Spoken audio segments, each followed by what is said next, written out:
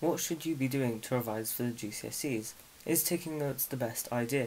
Well, this video is about exactly that. Hi, my name is Nouman Sami and I'm a GCSE student currently in year 11 and this video is going to be full of facts in what the best idea of revision actually is and if taking notes is really worth it for the GCSEs. This video will be split into three parts. The pros of taking notes, the cons of taking notes, and of course, the better way to revise. Okay, so why are notes a good idea? Well, firstly, we have to first find the difference between taking notes and actually reviewing notes. I think that taking notes is a really good idea because, especially when you're in class, when you are taking notes about the topic, you are writing the information in a way that makes sense to you. That's why we in class are told to refrain from copying and pasting because they are someone else's words and they won't be as effective for us. So I think taking notes is a really good idea, but I think that rereading those notes isn't. So let's just quickly go back to our desk. Okay, so that was the pros of taking. Okay.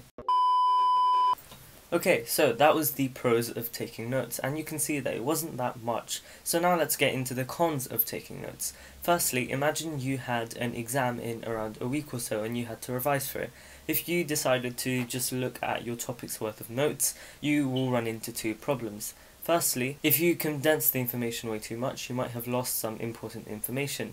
And secondly, if you are reading over your notes, it's a very passive source of revision and therefore you are less likely to retain everything that you look over. Okay, so to solve the first problem that I just mentioned, you can check a textbook and revise off that. But then the whole reason of making the notes is now futile because you don't even need to look over your notes anymore. You're just going straight to a textbook. Obviously, rereading is still rereading, no matter if you're rereading your notes or you're rereading a textbook. Another really popular revision technique is to highlight as you go because it seems like you are more actively engaged when you're studying, but it really is just as useless as just going over your notes in the first place. So I do not recommend making notes, especially for the GCSEs. By the way, this this isn't me saying this, this is actually scientifically proven that rereading and highlighting is a very ineffective form of revision. You're probably wondering then, what is the best way to revise? Well, let's just get straight into that. To revise the best way for your exams, one thing you should not do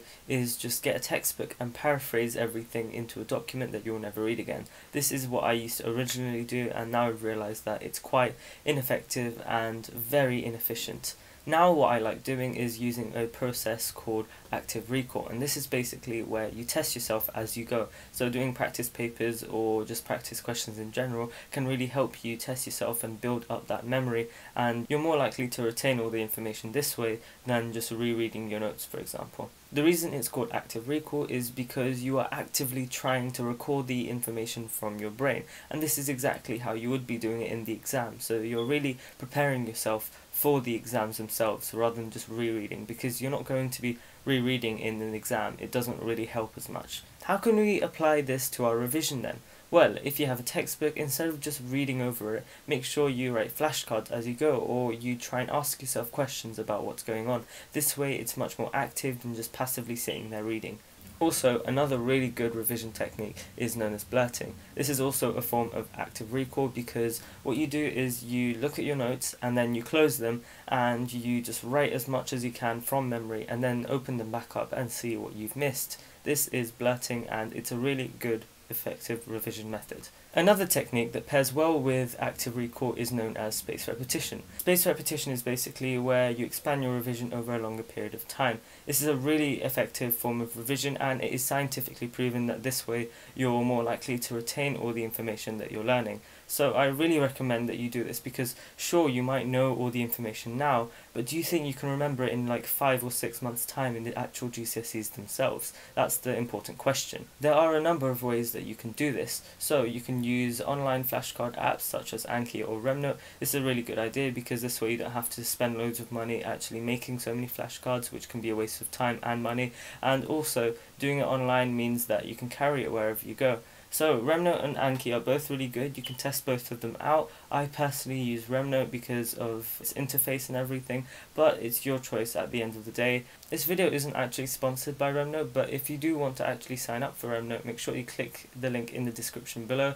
That way you have an extra one month of plus. At the end of the day, it's all about what revision method works best for you. just because active recall and spaced repetition is scientifically sign is scientifically proven to be a really good revision method, it doesn't mean that it's going to work for everyone. So make sure that you choose something that you actually think you do well in because to be honest, as long as you get those good grades, it doesn't matter how you revise. This is just a nice and efficient way of revising if you don't have that much time. Anki and RemNote are both perfectly free, but RemNote also has a pro plan and Anki has a paid app version. So it's your choice, test them both out and see which one you like more.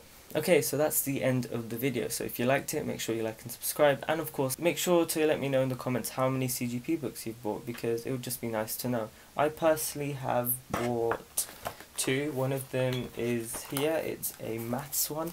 Um, yeah, I'm probably going to buy more. I do not like the actual revision guides. I'm more of a workbook type person because I feel like the more practice questions, the better. But yeah, let me know in the comments how many you guys have because, yeah, I don't have many, so...